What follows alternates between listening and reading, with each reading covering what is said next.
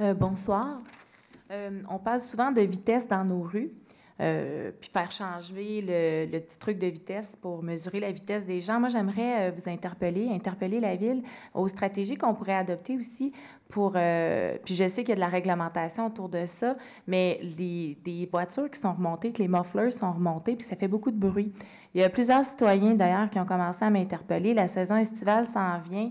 Puis, euh, bon, ils ont, craint euh, justement le taux de décibels de ces voitures-là. Ça dérange énormément. Alors, euh, voilà, ça serait le fun de voir quelle stratégie qu'on pourrait prendre pour rendre nos rues plus paisibles. Deuxième chose, j'adore mon stylo. Il va très bien. Je remercie les scouts. Je vous souhaite une excellente soirée.